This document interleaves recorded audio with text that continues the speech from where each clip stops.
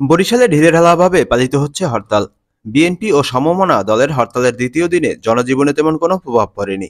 বরিশালের স্থানীয় রুটে বাস ও লঞ্চ চলাচল স্বাভাবিক রয়েছে। হরতালের সমর্থনে নগরীর বাঁধ রোডে বিক্ষোভ মিছিল করেছে মহানগর বিএনপি। নগরীর অভ্যন্তরে থ্রি হুইলার এবং রিক্সা, অটোরিক্সা চলছে স্বাভাবিকভাবে।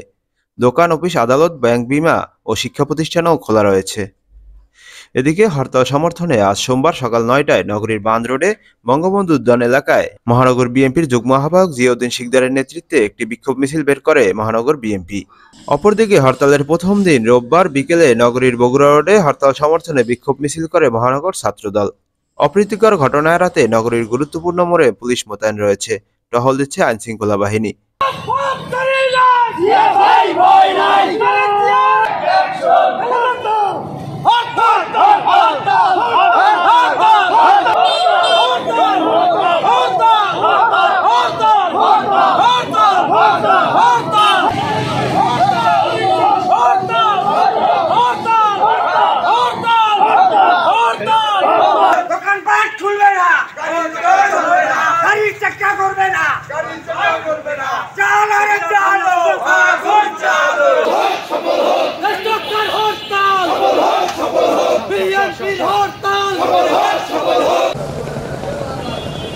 Malaysia kita, Master Mister Fatah